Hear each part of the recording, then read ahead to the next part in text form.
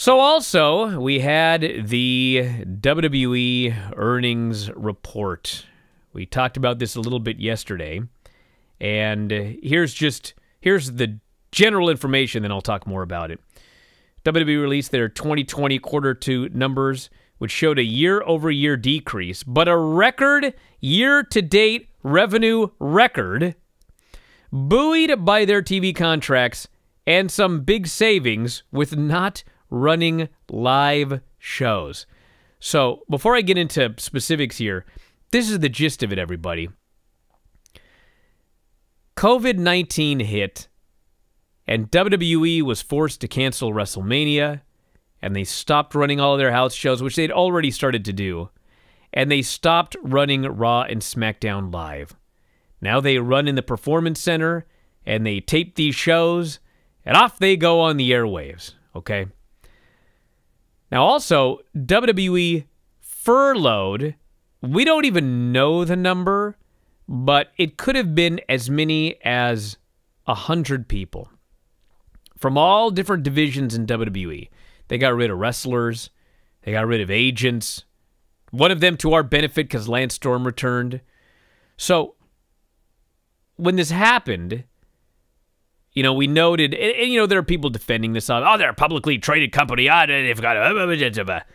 They were the only wrestling company to furlough, fire, cut anybody. Ring of Honor hasn't done a thing. They haven't gotten rid of anybody. Impact Wrestling hasn't gotten rid of anybody. AEW hasn't gotten rid of anybody. New Japan, I, I can go on and on. All of these different wrestling promotions, they took care of all of their employees during the pandemic or their independent contractors.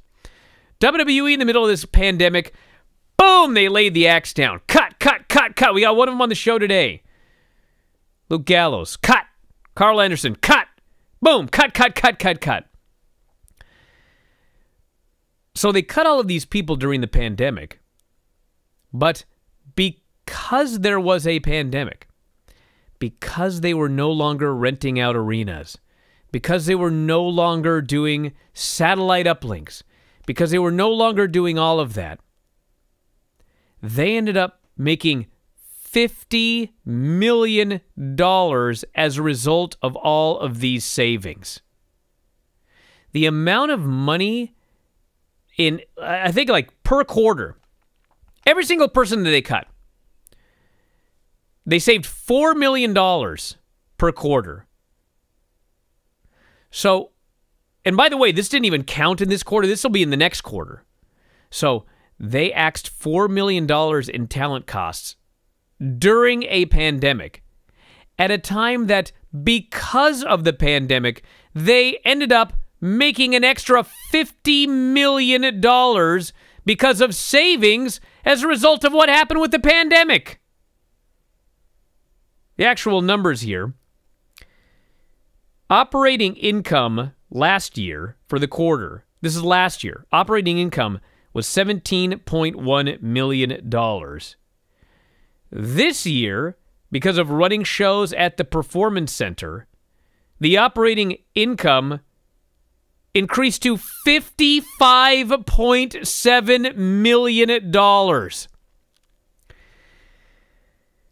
Net income, revenues for quarter two decreased a little bit, but I mean, what really happened was they're making so much more money off these television deals, and these television deals are going to continue to escalate.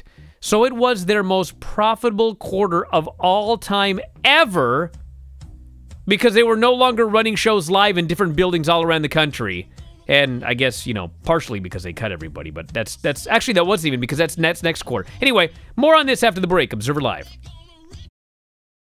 Bryan Alvarez here, Wrestling Observer Live. A couple of other notes here. We'll talk about some of the good news for WWE, but I'm, I'm hung up on one thing here, and that is that. Think about this fact.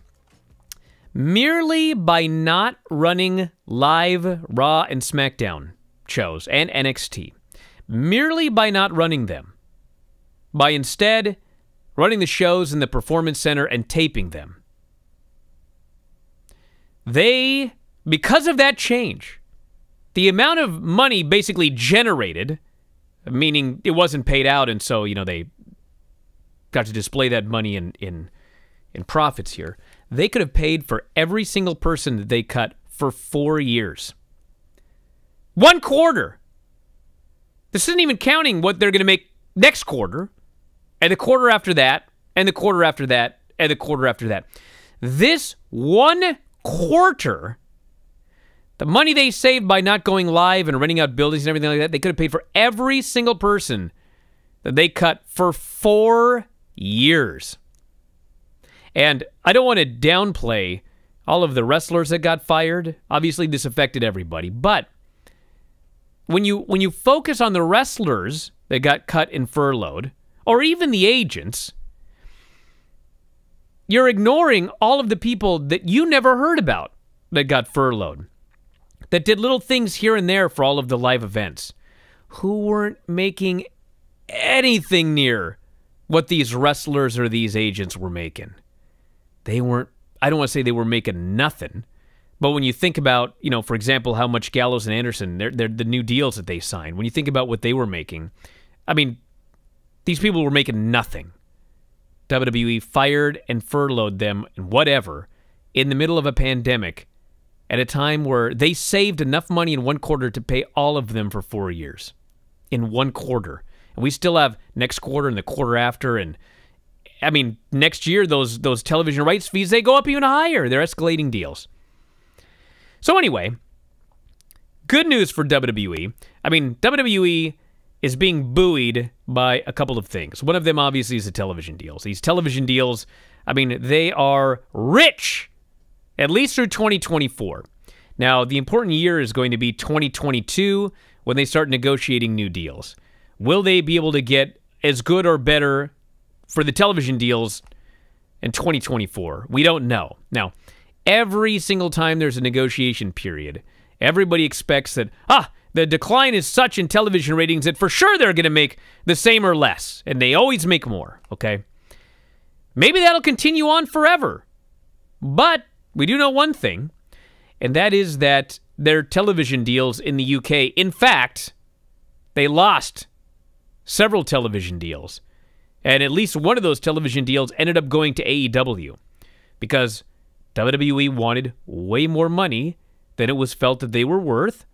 AEW was offering their product for a a cheaper price and they were taken up on the offer. So they have lost television deals in the UK because they weren't doing as well as whatever they were paid to do, okay?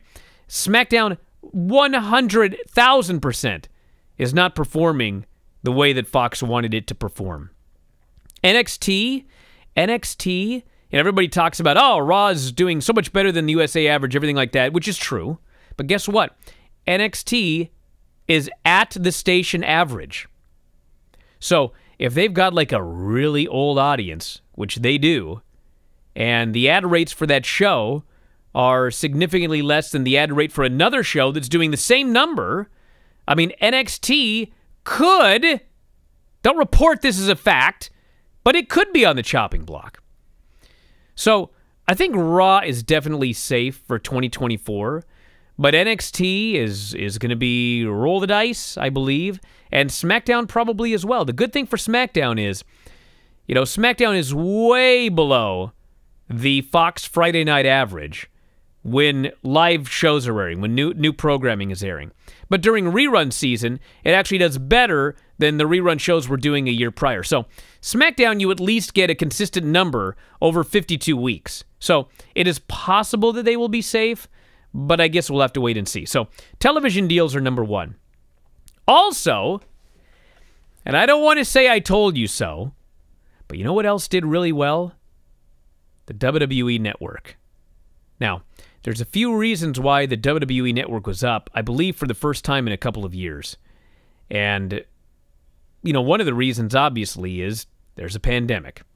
And if you were a person that used to go to your buddy's house to watch pay per views, and now your buddy wants to social distance, I mean, if your buddy used to have six people over, well, maybe not all six, but maybe one of those people, they just got the WWE network on their own.